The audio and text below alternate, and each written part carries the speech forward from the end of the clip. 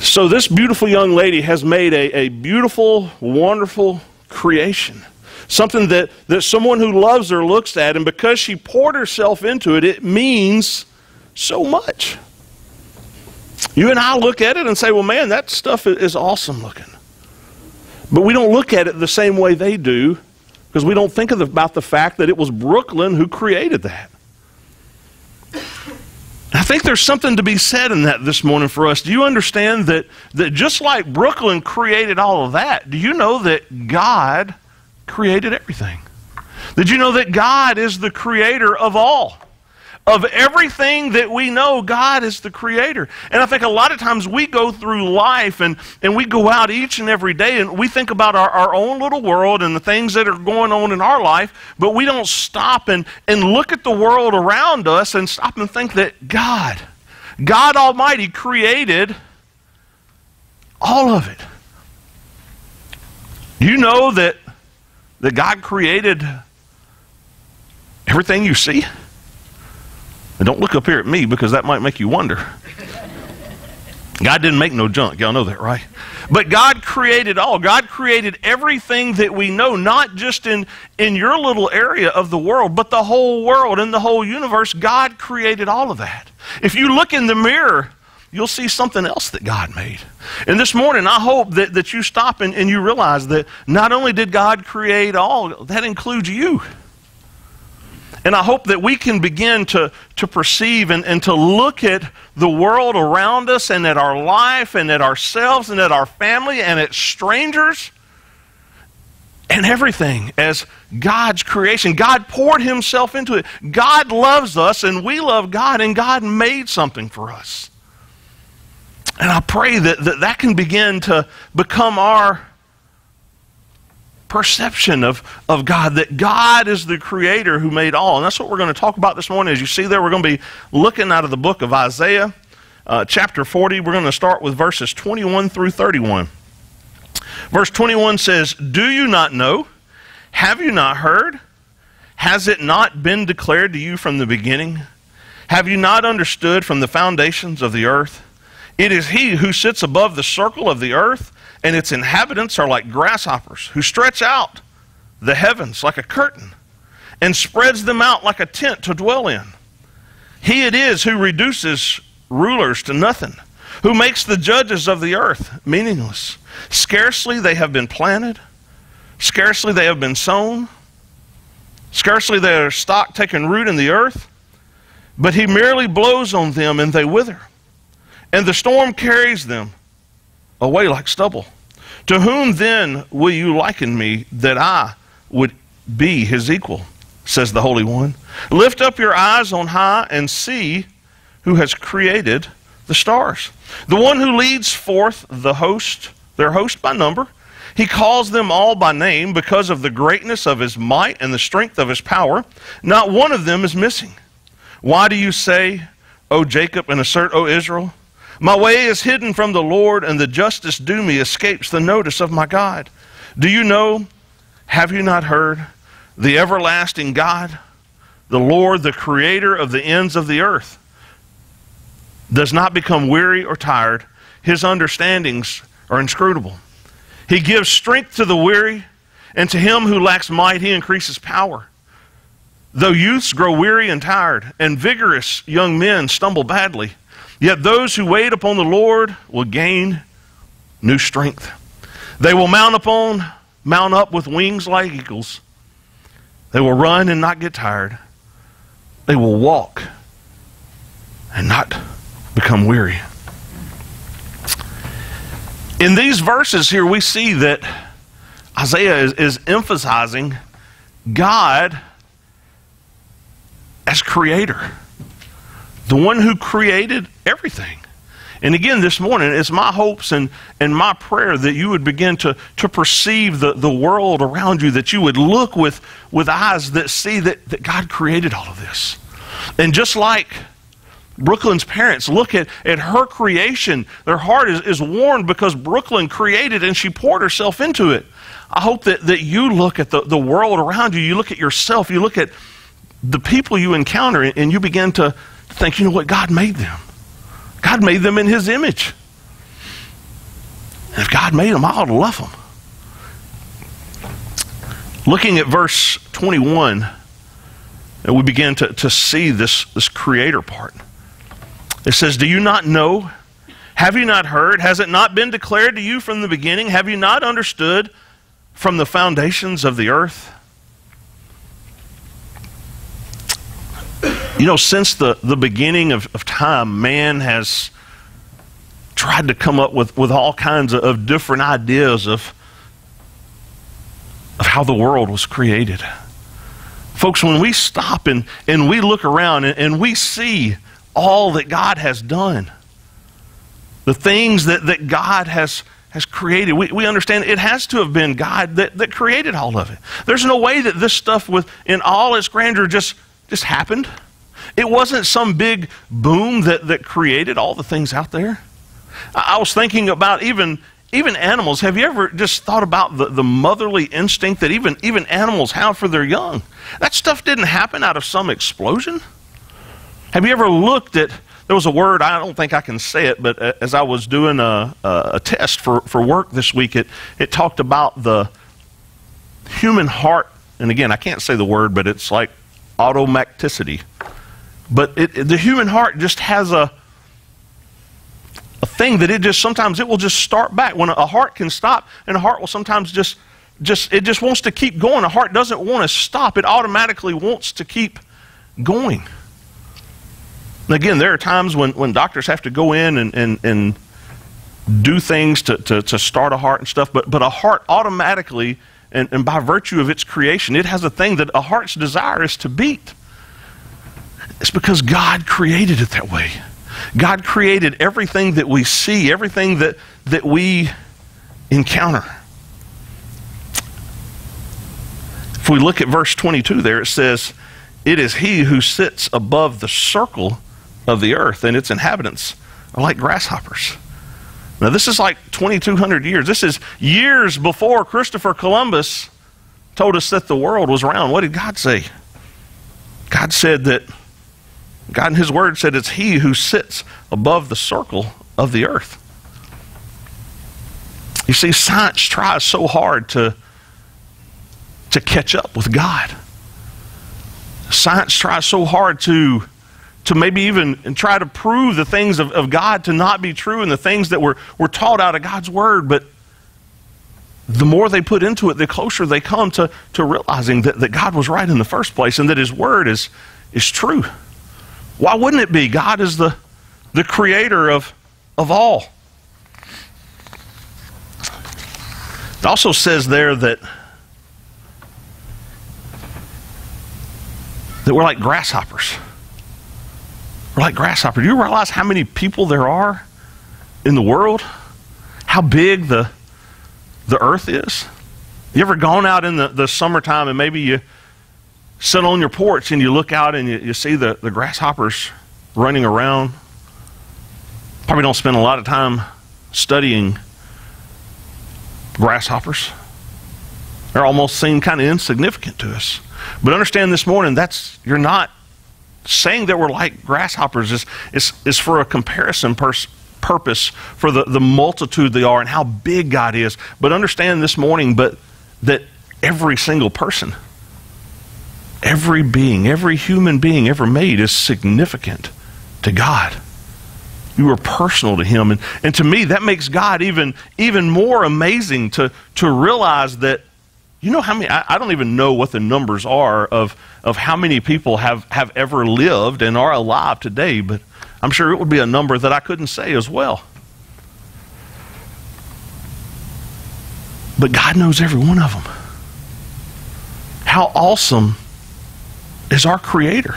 How awesome is God that, that He knows every single person? How big is God that, that God would look down? Uh, imagine a, a, a picture from from heaven looking down upon earth, from space looking down upon earth. We've all seen pictures like that. Imagine that God knows everything about everything that's there, and He made all of it. God's the creator of all. It also says that He stretches out the heavens like a curtain and spreads them out like a tent to dwell in.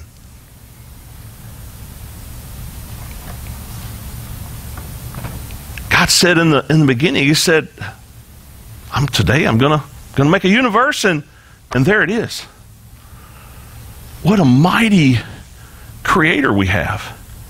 You know, I think that the point in trying to make you look and, and, and view God and, and view your circumstances and your life as something created by God is to, to understand how, how mighty, how powerful God is. If He was able to create all this, then you know what? Those, those problems you're dealing with this week, God can get you through them. Those bills that you're wondering, how in the world am I going to pay that? That person who's sick, maybe it's your sick, that, that problem at home in your marriage, all this stuff seems so big to you, but guess what? It's not that big to God. It's not more than, than He can handle. But because it's important to you, it's important to Him. Now, I'm not much of a astronomer or a studier of astronomy, so I'm, I'm going to read this part to you, and I apologize for that, but I want you to just grasp for just a moment how big the universe is. And I got this offline, and I, I, I Googled several other places, and the numbers all seem to be somewhat consistent, but it says. Uh, we're on planet Earth and we're close to 93,000 miles from the sun. Imagine that that distance is the thickness of a piece of paper. So 93,000 miles is like that thick. Says from the earth to the sun, 93 million miles equals a piece of paper. With that in mind, the distance to the nearest star is a stack of paper 71 feet high. 93,000 miles a piece of paper. Now, stack 71 feet high to the nearest star. Now, with every single piece of paper representing 93 million hours, miles, the size of our galaxy is represented by a stack of 310 miles high. 310 miles high. That's the distance from Chicago to St. Louis, with every single piece of paper in that stack representing 93 million miles. That's just our galaxy our galaxy uh, among all kind of galaxies out there. I believe there's probably more than, than they've even been able to see. God created all of that. If God is the creator of, of something so large and so vast, and, and, and then if you want to bring it back down, something that works so well here on earth, then God can take care of us.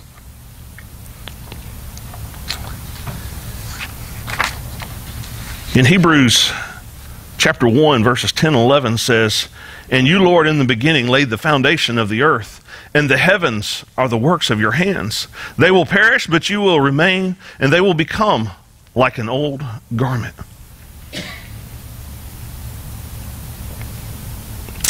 God is God's awesome.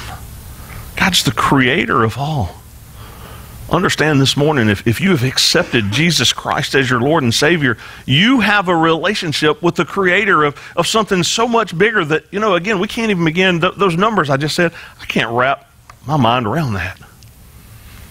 But I do stand in awe of how awesome God is. God is the creator, and because He is the creator, we see in verses 23 and 24 there that He is also the provider. If he created it, he's going to provide. It says in verse 23 He it is who reduces rulers to nothing, who makes the judges of the earth meaningless. Scarcely they have been planted, scarcely have they been sown, scarcely their stock taken root in the earth, but he merely blows on them and they wither, and the storm carries away like stubble.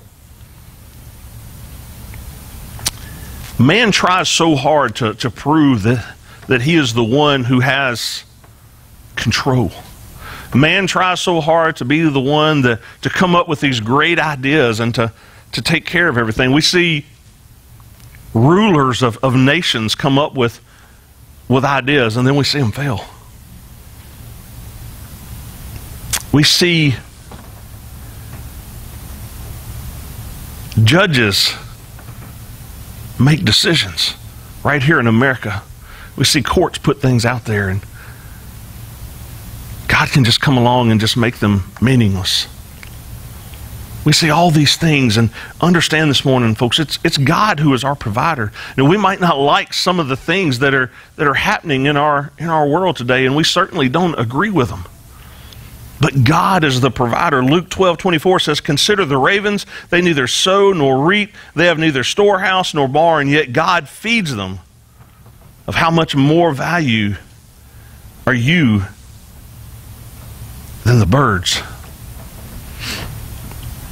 God's going to take care of you. God's going to take care of, of, of His church. God's going to take care of His children. Again, I'm going to keep talking about these Alabama folks. Even Alabama fans love their children.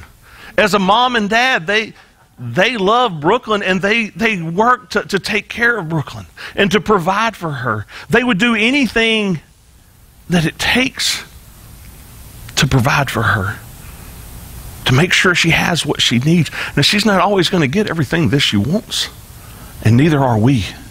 But our Heavenly Father loves us. He is our provider. He's going to do everything it takes for us. Everything that we need. His Word tells us that. He is the Creator. So, again, if you're encountering something in your life and you wonder, how in the world am, am I going to am I going to make it? Remember, God is the creator. God is a sustainer. Excuse me, God is the provider. And lastly, God is the sustainer. God keeps us going. Verse, verse 25, it says, uh, To whom will you liken me that I will be his equal, says the Holy One. You see, God is. God is different from everything else we perceive in the, in the world, and it's God's holiness that sets him apart. It's God's holiness that, that sets him apart from, from mankind. You and I are only holy in God's sight because of what Jesus did on the cross. And it's only through what Jesus did that, that we can achieve that. But, but God is holy in himself. Verse 26 says that God also controls the stars. It says, Lift up your eyes on high and see who created the stars, the one who leads forth their host by number. He calls them by name because of his greatness, of his might, and strength of his power. Not one of them is missing.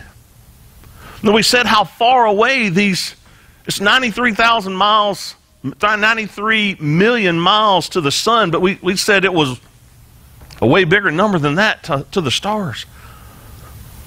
Now, you may be one who studies the, the Hubble telescope and all the things of astronomy, and maybe you've been to their page and, and you know how many stars they say are out there, but I think it's, it's, it's billions.